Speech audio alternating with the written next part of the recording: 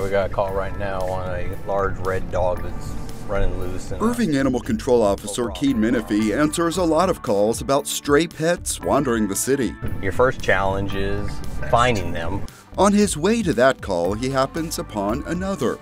He knows just about every stray he spots is one that its owners miss and are likely worried about. Our goal isn't to take them here to the shelter. I mean, our goal is to get them back home. The majority of the animals that come into the shelter are stray animals that are picked up from around the city. When animal services can reunite pets and their owners, it's one of the more rewarding parts of the job. Menifee remembers finding a dog from Colorado. It turned out that the dog had been missing for two years, and a week prior to us calling him, uh, his wife had passed away.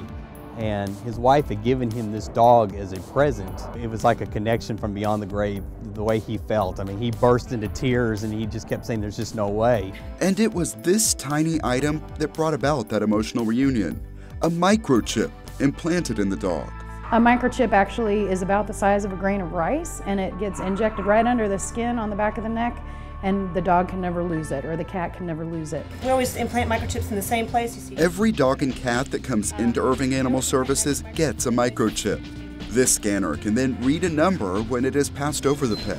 That's the number we actually go and enter into the computer and it's connected to the database and registered to the owner. If the owner had a microchip to begin with, we're calling the owner. So this dog could already be at home. Right. In fact, the dog would likely be home before even getting to the shelter. Whenever we're out in the field, we pick up an animal that has a microchip. We scan them. We all carry scanners on us.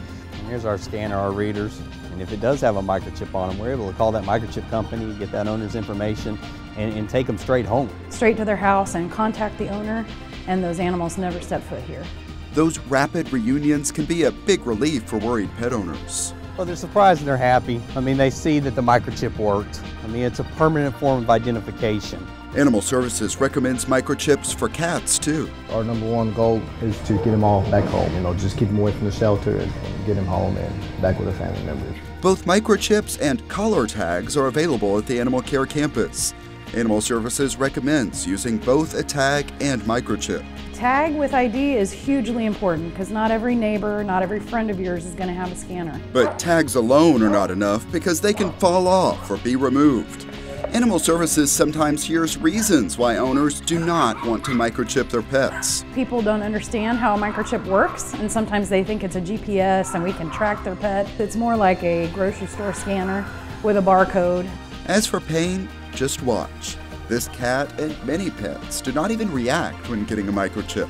It's similar to getting a vaccine, but when you think about it from the standpoint of how you're protecting your pet, that, that tiny little moment of a little bit of discomfort is definitely worth the benefit of what the microchip is going to do for your pet. We don't want to be impounding these animals and then having to uh, have the animals sit in a stressful environment waiting for their owners to come looking for them.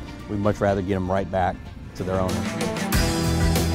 Every employee we talk to has a story of an amazing pet reunion. We were so excited to have him back. It was great. Each story made possible. We reunited a pet with a family after three years. With this tiny chip. We're here to help these animals. Being on the streets is no place to live.